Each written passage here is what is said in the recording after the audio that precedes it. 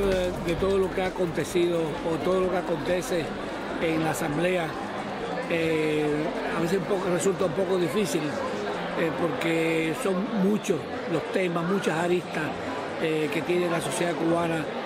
a tratar y de eso se trata la Asamblea, de tratar los problemas que,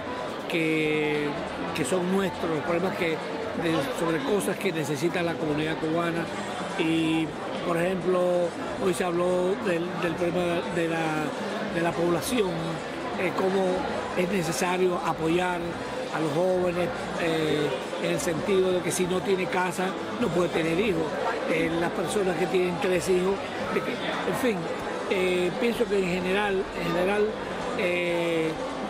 siento que se está tocando un poco más con, con, el dedo los problemas cruciales de nuestra sociedad.